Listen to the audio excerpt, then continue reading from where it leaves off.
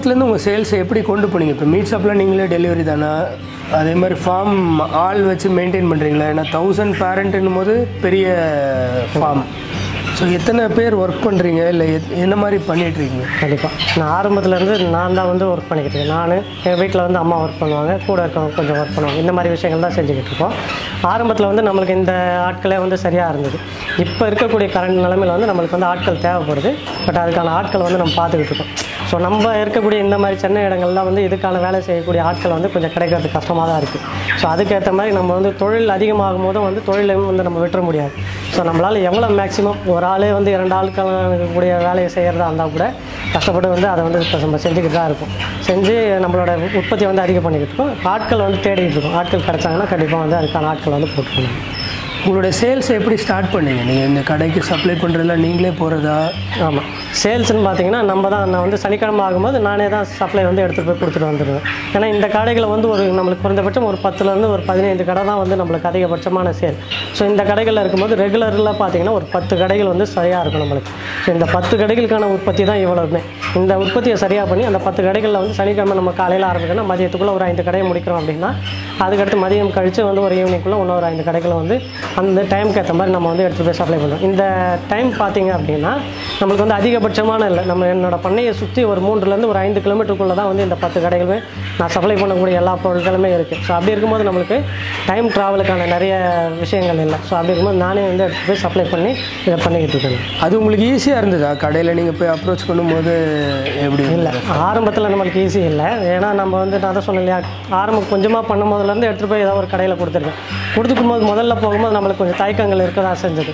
என்ன அப்படின்னா அதுக்கடுத்து என்ன யோசிச்சேன் அப்படின்னா ஒரு பொருளை உற்பத்தி பண்ணிட்டோம் வளர்த்துட்டோம். இவ்வளோ கஷ்டப்பட்டுருக்கோம். ஸோ அந்த பொருளை எடுத்துகிட்டு போய் விற்கிறதுல எதுக்கு நம்ம தயக்கம் படணும் அப்படின்ற ஒரு எண்ணம் தோணுச்சு. ஸோ அப்படி இருக்கும்போது தான் என்ன ஆச்சுன்னா நம்மளுக்கு அதில் என்ன சொல்கிறது ஒரு இருபது கடைகள் கூட நம்ம போய் கேட்கலாம். அதுலேருந்து நமக்கு ஒரு இரண்டு கடைகள் நம்மளுக்கு வாய்ப்பு கிடச்சுன்னா அந்த ரெண்டு கடையை தான் நம்ம இருபது கடையில் தேடி இருக்கணும்னு அர்த்தம். ஸோ அந்த ரெண்டு கடை தான் நம்மளுக்கு முக்கியம். ஸோ அதனால் வாய்ப்புகளை தேடுறதுல வந்து நம்ம தயக்கம் காட்டாமல் ஏன்னா பொருளை உற்பத்தி பண்ணுறோம் எடுத்துகிட்டு போய் கண்டிப்பாக கொடுத்தா தான் நம்ம வந்து குறைந்தபட்ச லாபம் மாதிரி இதில் எடுக்க முடியும். ஸோ அப்படி இருக்கும்போது நம்ம வாய்ப்புகளுக்கு வந்து தயங்காமல் போய் ஒரு பத்து கடையோ இருபது கடையோ ஏறி இறங்குறது தப்பு இல்லை. ஏன்னா ஒரு கடையில் நீங்கள் போய் கேட்டிங்கன்னா நியாயமாக பேசுவார். இன்னொரு கடைகளில் வந்து இங்கேயே எவ்வளோ தான்ப்பா கொடுக்குறாங்க நீ என்ன எப்படி கொடுக்குறான்னுவாங்க. ஒரு சில கடைகளில் போனால் ஃப்ரெஷ்ஷாக போகிறோன்றது நம்ம ஃப்ரெஷ்ஷராக இருக்குன்றது அவங்களுக்கு தெரியும். ஸோ அப்படி இருக்கும்போது ஒவ்வொரு இடத்துல ஒவ்வொரு அனுபவங்கள் நம்மளுக்கு வரும். ஸோ அதில் நம்மளுக்கு எது சரியாக அமையுன்றது தெரிஞ்சு அதை தேர்ந்தெடுத்து அந்த இடத்துக்கு மட்டும் நீங்கள் சப்ளை பண்ணுங்கள் ஏன்னா ஒரு சில கடைகளில் வந்து உங்களுக்கு போன உடனே கையில் பொருள் போட்ட உடனே கையில் காசு வந்துடும் நம்மளுக்கு.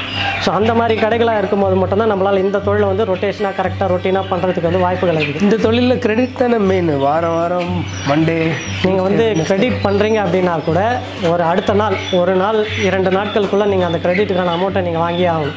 அப்படி இல்லை நீங்கள் அதை தாண்டி ஒரு மா ஒரு வாரம் போகுது அதுக்கு மேலே போகுது அப்படிலாம் வச்சுக்கிட்டு இருந்தீங்கன்னா இந்த தொழிலை வந்து நம்மளால் ரொட்டேஷன் பண்ண முடியாது. என்ன ஆகுனா அவர் அந்த கறிக்கடையை அவர் வச்சுக்கிட்டு தான் இருப்பார் அவர் ரன் பண்ணிக்கிட்டே இருப்பார் அவர் ரொட்டேஷன் பண்ணிக்கிட்டே இருப்பார். ஆனால் நம்மளால் வந்து இந்த ஃபார்மை வந்து தொடர்ந்து ரன் பண்ண முடியாமல் போகும் நம்மளும் வந்து இந்த மூடிட்டு போனவங்க இந்த சொல்லக்கூடிய அந்த ஒரு கணக்கில் தான் நம்ம போய் சேர வேண்டியிருக்கும். இது எப்படி சொல்கிறதுனா இதுவுமே அந்த வாய்ப்புகளை நம்ம வந்து போய் அணுகி அணுகி தான் வந்து எத்தனை கடைக்காரர் எவ்வளோ சரியாக இருக்காங்க எவ்வளோ பேர் நம்மக்கிட்ட சரியான பொருள் வாங்குறாங்க சரியாக அதுக்கேற்ற மாதிரி காசு கொடுக்குறாங்கிறத தெரிஞ்சுக்கிட்டு அந்த கடைகளை மட்டும் செக்ரிகேட் பண்ணி செக்ரிகேட் பண்ணி நம்ம வந்து அதுக்கான சப்ளை மட்டும் உற்பத்தி பண்ணி பண்ணுங்க. அதுதான் வந்து கரெக்டாக இருக்கும். அதிகப்படியாக உற்பத்தி பண்ணிவிட்டு அதை எடுத்துகிட்டு போய் விற்க இடம் இல்லாமல் குறைந்தபட்ச விலைக்கு போய் கொடுத்து நஷ்டமாகிறத விட நீங்கள் உங்களால் எவ்வளோ வந்து சரியாக எடுத்துகிட்டு போய் வளர்க்க முடிஞ்சு சரியாக எடுத்து போய் கரெக்டாக மார்க்கெட்டிங் பண்ண முடியுமோ அந்த அளவுக்கான ஒரு பொருளை உற்பத்தி செஞ்சு அது ஒரு ஆறு மாதம் ஆகலாம். ஒரு வருஷம் கூட நீங்கள் அந்த பொருள் மட்டும் உற்பத்தி பண்ணுறீங்க அதிகப்படியாக நம்மளால் பண்ண முடியலனா கூட அதை மட்டுமே ரொட்டீனாக பண்ணுங்கள் அப்படி பண்ணும்போது நம்ம அந்த தொழிலையும் அந்த சந்தை வாய்ப்புகள்லையும் வந்து நம்ம கொஞ்சம் ஸ்ட்ராங் ஆகிடும் நம்மளுமே என்ன ஆகுனா ஒரு ஒரு வருடம் கழித்து நம்ம ஒரு பழைய ஆளாகிடும் அதில். ஒரு சந்தை அணுகும் போது ஒரு புதுசாக போய் அணுக வேண்டியதில்லை. அதுக்கடுத்து போய் நம்ம அணுகக்கூடிய ஒவ்வொரு கடையிலுமே வந்து நம்மளுக்கு இருக்கக்கூடிய அனுபவத்தை வச்சு நம்மளால் கரண்ட் ரேட் என்ன? இப்போ மார்க்கெட்டில் என்ன ரேட்டு போயிட்டுருக்கு? நம்ம பொருளை என்ன ரேட்டு கொடுக்குறோம்? என்ன மாதிரி ஒரு குவாலிட்டியில் கொடுக்குறோம்? இந்த மாதிரி விஷயங்கள்லாம் நம்மளால் சரியாக பேச முடியும். அப்படி பேசும்போது வந்து கடைக்காரருக்குமே வந்து சரியாக ஒரு இவங்க வந்து ஒரு தொழிலை தொழிலாக செய்கிறாங்க அப்படின்ற ஒரு அணுகுமுறை இருக்கும். ஸோ அப்படி இருக்கும்போது நம்மளுக்கு எல்லா வாய்ப்புகளுமே வந்து சிறந்ததாக அமையும்.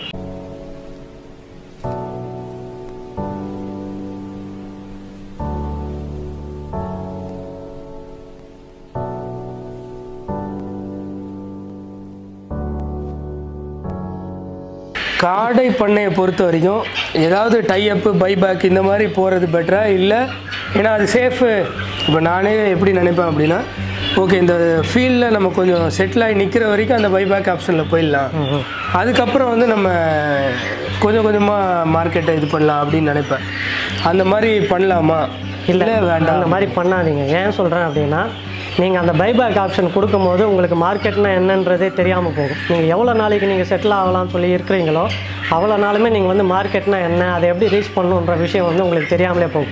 ஸோ ஒரு நூறு குஞ்சு வளர்த்தா கூட அதை டேரெக்டாக எடுத்துகிட்டு போய் ஒரு கடையோ ஒரு சின்ன ஒரு பகோடா கடைக்கு கொடுக்குறீங்கன்னா கூட வந்து அதை நீங்களாக பண்ணுங்கள் அப்படி பண்ணும்போது மட்டும்தான் உங்களோட வளர்ப்பு பண்ணைன்னா என்னன்றதும் தெரிஞ்சுக்க முடியும். அதை சார்ந்து நீங்கள் வந்து மார்க்கெட்டு சந்தைனா என்னன்றதையும் நீங்கள் தெரிஞ்சுக்க முடியும். அப்படி சார்ந்து போகும்போது தான் வந்து நீங்கள் அதற்கடுத்து ஒரு ஆயிரம் காடைகள் வளங்க ஒரு பத்தாயிரம் காடைக்கு போங்க அப்படி வளர்க்கும் போது அதில் ஒரு ஐ- ஐயாயிரம் காடைகள் வந்து நீங்கள் பைபேக் ஆப்ஷனுக்கு கொடுங்க. இந்த மாதிரி விஷயங்கள்லாம் பண்ணலாம்.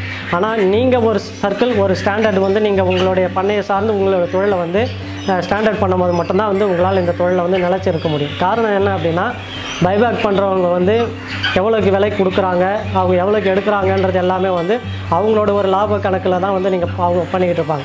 நம்மளுடைய லாபம்ன்றது வந்து அவங்களுக்கு வந்து கணக்கு பண்ண வந்து சரியாக வராது. ஏன் சொல்கிறேன் அப்படின்னா நம்மளுக்கு ஏற்படக்கூடிய அந்த நஷ்டங்கள்லாம் வந்து அவங்களால ஈடுகட்ட முடியாது. ஏன்னா நம்ம ஒரு குஞ்சுகளில் பராமரிக்கிறதுலேருந்து எல்லாமே வந்து பர்சன்டேஜ் கணக்கில் நம்மளுக்கு கரெக்டாக பேசிடுவாங்க. ஏன்னா உங்களுக்கு இவ்வளோ இறப்புகள் பண்ணிட்டீங்க இல்லை இப்படி இருக்குது அந்த மாதிரி நிறைய விஷயங்களை சொல்லிடுவாங்க. நம்மளுக்கு வந்து காலநிலையை பொறுத்து நம்ம இதெல்லாம் மெயின்டைன் பண்ணக்கூடிய வேலைகள் வந்து நம்மளுக்கு அதிகமாக இருக்கும். ஸோ லாபமோ நஷ்டமோ அதை நம்ம ஃபேஸ் பண்ணி நம்ம எடுத்துகிட்டு போகும்போது நம்மளுக்கு அது கண்டிப்பாக லாபமாகவே அமையும். ஏன் சொல்கிறேன் அப்படின்னா அதிகபட்ச லாபம் இல்லைனாலும் அதில் ஒரு ஆயிரரூபா நஷ்டம் ஆகலாம். ஒரு ஒரு நீங்கள் ஒரு ஐநூறு காடைகள் பண்ணுறீங்க அப்படின்னா ஒரு ரெண்டாயிரத்தி ஐநூறுலேருந்து ஒரு மூணாயிரரூவா லாபம் கிடைக்கும் அப்படின்னா கூட ஒரு ஐநூறுரூவா நஷ்டம் அடையும். ஆனால் நம்மளுக்கு ஒரு ரெண்டாயிரரூவா வந்து நம்மளுக்கு லாபம் கிடைக்கும். இந்த லாபத்தை வந்து ஒரு நாலு வாரம் பண்ணும்போது நம்மளால் ஒரு எட்டாயிரம்லேருந்து ஒரு பத்தாயிரரூவா சிறியதாக பண்ணும்போது நம்மளுக்கு கிடைக்கும். இதுலேருந்து ஒரு ஆயிரரூபா நம்மளுக்கு கம்மி ஆகுறது வந்து பெரிய நஷ்டம் கிடையாது.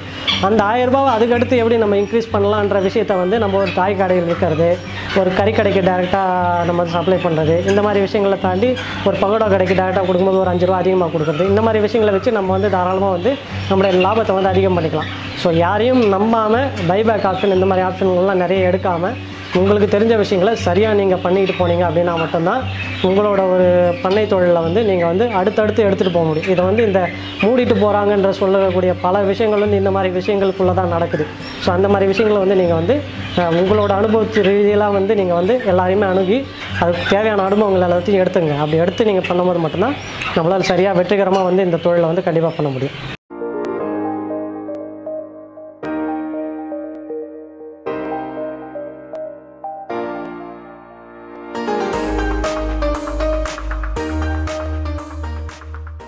அடுத்து உங்கள்கிட்ட சேல்ஸுக்கு என்னென்ன கிடைக்கும் எப்படி கிடைக்கும் உங்களை எப்படி காண்டாக்ட் பண்ணலாம் அந்த டீட்டெயில்ஸ் கொஞ்சம் சொல்லுங்கள் கண்டிப்பாக நம்மளுடைய காண்டாக்ட் நம்பர் வந்து நம்ம டிஸ்கிரிப்ஷன்லேயே இருக்கும். சரி அதை காண்டாக்ட் பண்ணுங்கள் ஸோ நம்மக்கிட்ட வந்து குஞ்சுகள்லேருந்து ஆச்சிங்கான முட்டைகள்லேருந்து சாப்பிடக்கூடிய முட்டைகள்லேருந்து ஒரு முப்பது நாள் காடைகளாக அடல்ட் காடைகள் பேரண்ட்ஸ் ஆகும் கொடுக்கக்கூடிய அளவுலேருந்து எல்லா காடைகள் காடைகளில் எல்லா விதமான பொருட்களும் வந்து நம்ம வந்து கொடுத்துக்கிட்டு இருக்கோம்.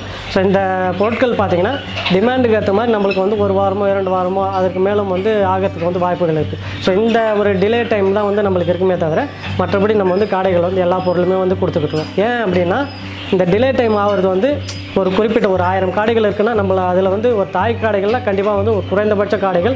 நம்ம சொல்லக்கூடிய அளவில் செலக்டடாக தான் எடுத்து கொடுக்குறோம் எதெல்லாம் முதல்ல நம்மளுக்கு வெயிட் வருதோ அந்த மாதிரி காடைகளை தான் நம்ம வந்து எடுத்து பேரண்ட்ஸாக கொடுக்குறோம் அப்படி கொடுக்கும்போது ஒவ்வொரு பேட்சுக்குமே வந்து ஒரு வார இடைவெளி வந்து நம்மளுக்கு ஐந்து நாள்லேருந்து பத்து நாள் இடைவெளி தேவைப்படுது. இந்த மாதிரி இருக்கும்போது நம்மளுக்கு அதிகப்படியான ஆர்டர் இருக்கும்போது அதெல்லாம் க்ளோஸ் பண்ணிக்கிட்டே வர வர தான் நம்மளால் வந்து அடுத்தடுத்த ஆர்டர்கள் வந்து ஃபில் பண்ண முடியுது. ஸோ இந்த நிலைமைகளால் தான் நமக்கு கொஞ்சம் டிலே ஆகுது. ஸோ குஞ்சுகளை பொறுத்த வரைக்கும் நீங்கள் பார்த்தீங்கன்னா அட்வான்ஸ் பே பண்ணிவிட்டு சரியாக ரெகுலராக பண்ணுவீங்க. அப்படின்னா மட்டும் சரியான அட்வான்ஸ் பே பண்ணிட்டு வெயிட் பண்ணிங்கன்னா அதுக்கு தகுந்த ஒரு பீரியடுக்குள்ளே நம்ம வந்து அதுக்கான பேரண்ட் ஸ்டாக் இன்க்ரீஸ் பண்ணி ஹேச்சிங் பண்ணி சிக்ஸை வந்து ரெகுலராக வந்து சப்ளை கொடுத்துருவோம் ஸோ இந்த மாதிரி விஷயங்கள் இருக்குது இது மாதிரி விஷயங்களை செஞ்சு நீங்கள் வந்து நம்மக்கிட்ட வந்து எல்லா விஷயங்களும் வந்து எடுத்துக்கலாம். இன்னொரு பண்ணையாளருக்கு நீங்கள் என்ன அட்வைஸ் பண்ணுவீங்க? இது இது பண்ணால் சேஃபு நல்லா ஈஸியாக சம்பாதிக்கலாம். இல்லை மொத்தமாக பண்ணால் தான் இதில் பெஸ்ட்டு அது மாதிரி நீங்கள் என்ன சொல்கிறீங்க நீங்கள் ஆரம்பத்தில் அதுதான். எப்போவுமே வந்து இதில் வந்து அனுபவம் தேவைப்படுது. அந்த அனுபவத்தை எடுத்துக்கிட்டிங்க அப்படின்னா ஓரளவுக்கு அனுபவம் எடுத்துக்கிறார் ஒரு பண்ணையாளர் அப்படின்னா